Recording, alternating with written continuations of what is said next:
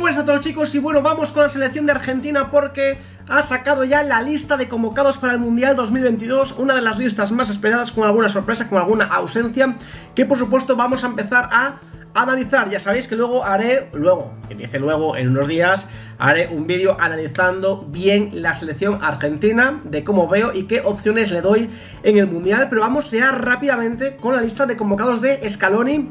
Argentina que llega yo creo que en un gran momento, eh, llega con muchos partidos invicta, llega compitiendo muy bien, llegan como los campeones de la Copa América y sinceramente creo que Argentina es una de las candidatas, es una de las favoritas. Es una selección que estoy convencido porque he visto todos sus partidos que pueden competir de tú a tú contra cualquier selección. Llegan con un Leo Messi en un momento de forma sensacional, en un momento de forma que hacía años que no se veía. Un Leo Messi que ya ha dejado caer que va a ser su último mundial. Como digo, una selección muy equilibrada que vamos a ver ahora entre gente con mucha experiencia y jóvenes que vienen pisando muy fuerte.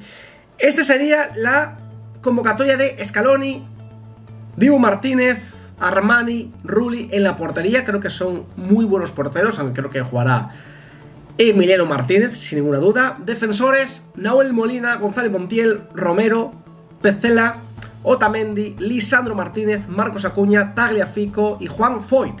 Me parece una muy buena defensa. Muy buena. O sea, hay algunos que están en un momento espectacular, que están en un momento de forma muy bueno, como es Lisandro Martínez, que a mí me encanta. Los laterales me parecen muy interesantes también. Sinceramente, creo que Argentina tiene buena defensa. Y aparte que lo hacen muy bien, son muy sólidos. Argentina ha, ha mejorado defensivamente una barbaridad.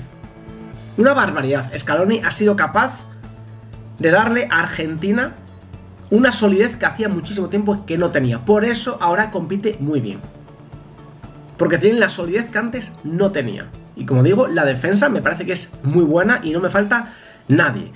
Vamos con el centro del campo, Rodrigo de Paul, Leandro Paredes, Alexis Alister, Guido Rodríguez, Papu Gómez, Enzo Fernández, que creo que tenía que ir sí o sí. O sea, el nivel de Enzo Fernández es una barbaridad.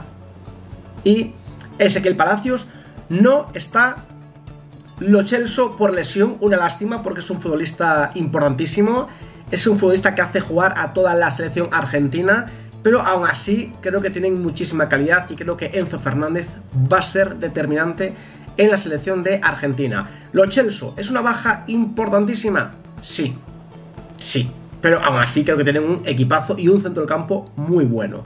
Y arriba, Ángel Libaría, Lautaro Martínez, Julián Álvarez, impresionante, Nicolás González, Joaquín Correa, Paulo Dybala, que finalmente va, y Lionel Messi. Este sería la lista de convocados de Argentina. Me parece que tiene un equipazo impresionante. Se han quedado fuera Ángel Correa. Yo lo hubiese llevado antes que a, que Joaquín Correa. Eh, sinceramente creo que Ángel Correa, pese a que últimamente no está muy bien, es un jugador que siempre rinde, que siempre lo da todo. Yo lo hubiese llevado. Luego, como digo, eh, hay otros que por lesión no han podido ir, pero vamos, en general yo creo que está bien. Tiago Almada quizás también debería ir, Facundo Medina, Muso, bueno, pero por lo general yo creo que es un equipazo, yo creo que Argentina es una de las candidatas. Eh, y en fin, vamos a ver qué, tal lo hacen, pero vamos, a priori, equipazo.